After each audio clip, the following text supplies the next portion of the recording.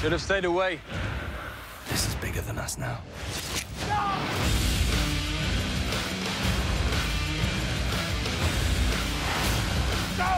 Ben Hur, rated PG-13.